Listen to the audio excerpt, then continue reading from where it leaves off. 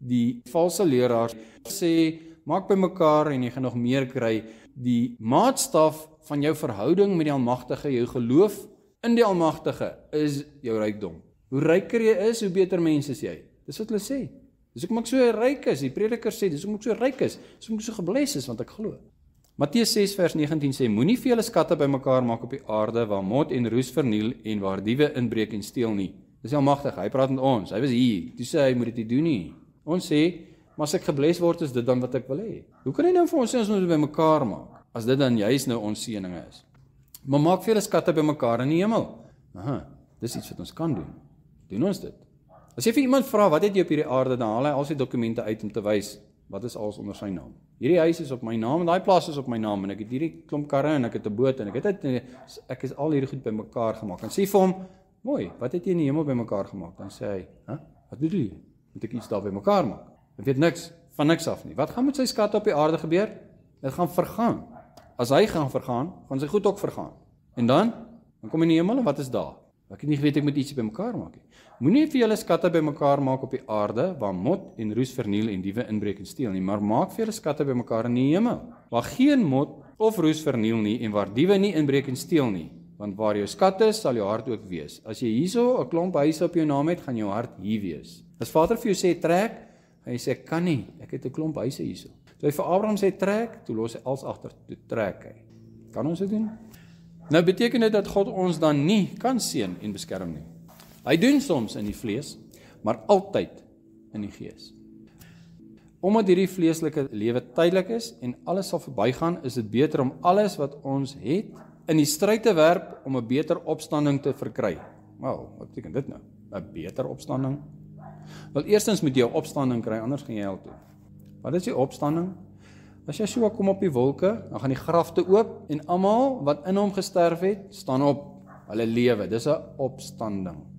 Die wat nie dood gegaan het nie, gaan saam met daai wat opgestaan het om in die lig te gemoed. Hulle kry 'n nuwe liggaam, hulle kom saam met hom aarde toe, hulle kom saam met hom regeer. Dis 'n opstanding. Maar jy kry 'n beter opstanding. OK, wat beteken dit? Die een ou gaan oor een stad regeer, die ander ou gaan oor drie stede regeer, die ander een gaan oor 10 stede regeer. Dis 'n beter opstanding. Hoe kry jy beter opstanding? Jy maak skatte in die hemel bymekaar. Hoe maak jy skatte in die hemel bymekaar? Jy lewe vir die koninkryk van God.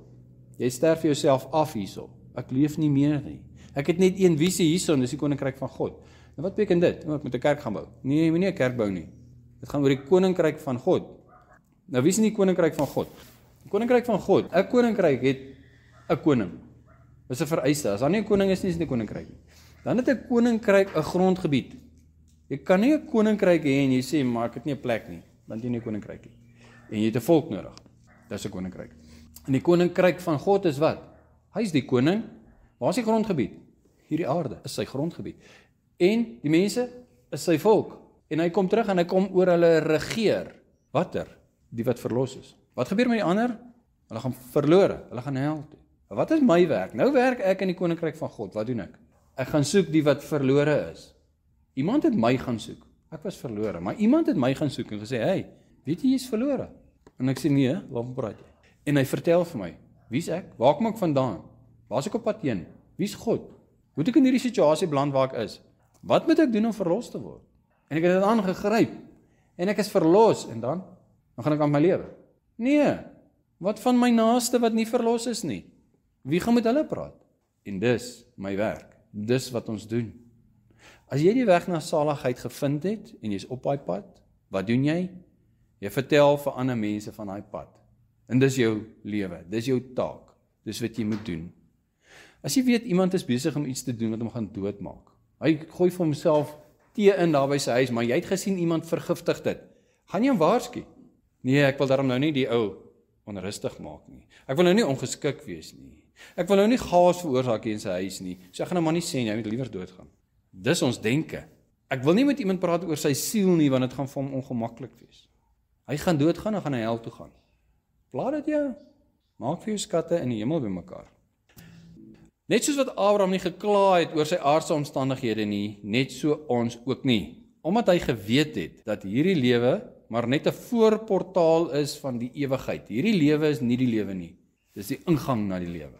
Hebreërs 11 vers 8 sê: "Deur die geloof het Abraham, toe hy geroep is, gehoorsaam weggetrek na die plek wat hy as 'n erfenis sou ontvang het, en het weggetrek sonder om te weet waar hy sou kom. Deur die geloof het hy as vreemdeling gaan woon in die land van die belofte, soos in 'n vreemde land, en in tente gewoon met Isak en Jakob, die mede-erfgename van dieselfde beloftes." want hy het 'n stad verwag wat fondamente het waarvan God die boumeester en 'n oprigter is.